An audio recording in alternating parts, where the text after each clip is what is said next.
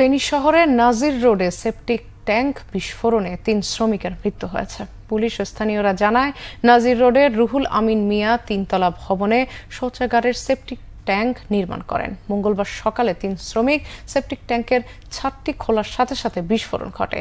এ সময় আশপাশের লোকজন দ্রুত ছুটে গিয়ে তাদের উদ্ধার করে। ফেনী জেনারেল হাসপাতালে নিয়ে গেলে কর্তব্যরত চিকিৎসক তাদের মৃত ঘোষণা করেন। খবর পেয়ে পুলিশ ও ফায়ার সার্ভিস ঘটনাস্থলে যায়। নিহতদের পরিচয় পাওয়া না গেলেও তিনজনের বাড়ি বাগেরহাট বলে জানায় পুলিশ। তারা শহরের নাজির রোড এলাকায় ভাড়া বাসায় থাকতেন।